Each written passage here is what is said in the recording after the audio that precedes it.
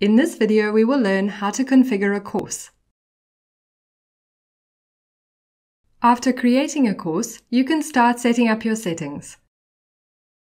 Go to a course and select Admin from the left bar.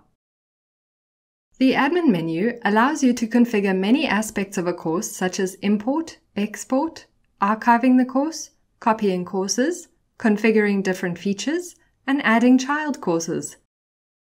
Click on Configure. The Configure area is split into different areas to make it easier to set up options. In the Basics tab, you can change the essential aspects of a course. Under Overview, you can change the picture, name, short, and long description of the course. In the Settings area, you can configure different aspects such as access code, style, duration, and more. Let's change the style of the course. Click on Edit. Under Style, choose between Instructor, Blended, or Self-Paced. In the case of instructor-led courses, the learning process takes place in a traditional training environment. Blended courses are used when the learning takes place in a training room environment, but some of the modules are self-paced. If you choose self-paced, then all the modules will be self-paced, and learners can take the course anytime, anywhere. After you choose the style of the course, click Save. In the landing page section, you can choose the course landing page. We usually recommend selecting the modules page. In the Tabs area, you can configure which options you would like available in the course, such as News, Calendar, Resources, Games, and more. If you want learners to visit your course at a specific time and location, then you can set a course schedule under the Schedule tab. Click on Add Course Time, select the day, the duration, and the location of the course. Then click Save. You can add multiple time periods for a course. The Enrollment tab allows you to set up options regarding enrollment, unenrollment, and inactivity. For example, you can choose if you want to notify instructors of enrollments, you can define the maximum number of learners for the course, you can allow learners to unenroll, and more. You can also define rules for enrollment, unenrollment, and inactivity. To define actions, click Add in the corresponding section. We have a separate video on how to add rules, so please make sure to watch it. In the Modules tab, you can configure the order in which modules and assessments should be completed. You can also schedule learner access to content using drip content. Click on Enable and set the number of days, hours, and minutes when modules should be unlocked. You can also send a canned or custom message. Then click Save. Now the first module will be unlocked upon enrollment, and the next modules will be unlocked after the defined schedule.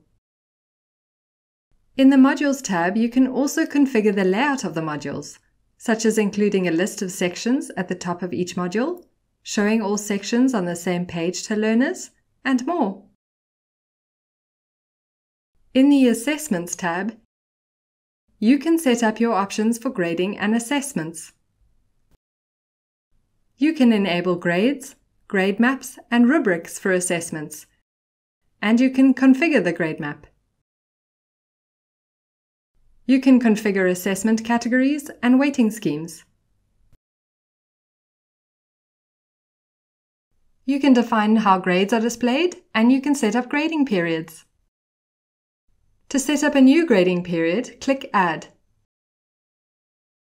Enter the name of the period, the start date, and the weight.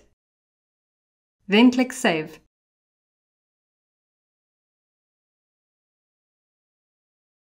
In the Completion tab, you can add rules for actions that should be performed upon completion of the course. To see the list of possible actions, click Add under Completion Actions.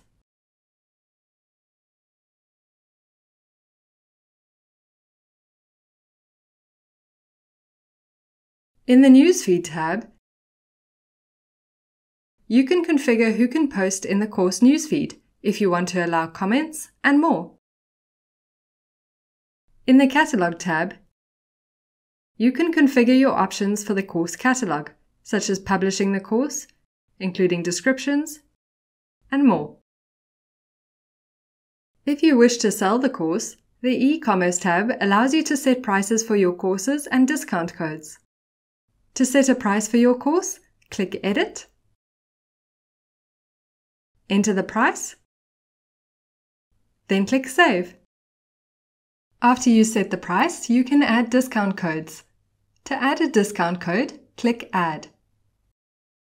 Enter the percent and the name of the code, then click Save. To specify certificates that a learner must have before they can enroll in the course, go to the Prerequisites tab and click Add.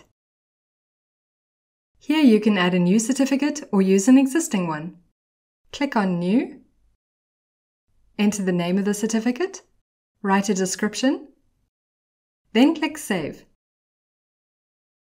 To upload a PDF version, click on the certificate's name, then choose Upload Certificate you will see a list with fields that the PDF can include. Click Add PDF Certificate. Select the certificate. Then click Upload.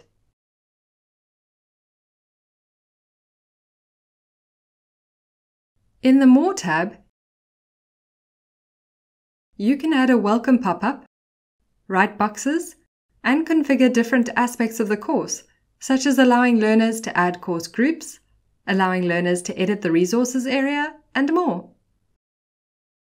To add a welcome pop-up, click Add under the corresponding section. Write a title and the content of the page. Then click Save.